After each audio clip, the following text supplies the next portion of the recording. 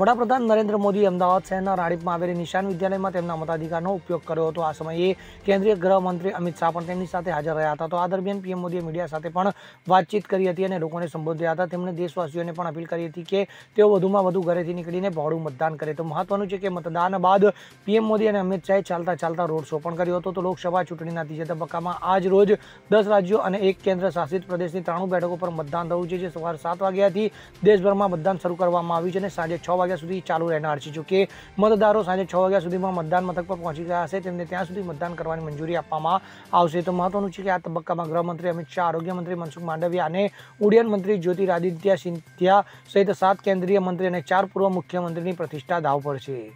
Bureau report CN twenty four news. હવે જુઓ, દેશ દુનિયાની તમામ ખબરો તમારી આંગળીના ટેરવે. ઉઠાવો મોબાઈલ અને ગૂગલ પ્લે સ્ટોર પરથી ડાઉનલોડ કરો અમારી CN twenty four news mobile app.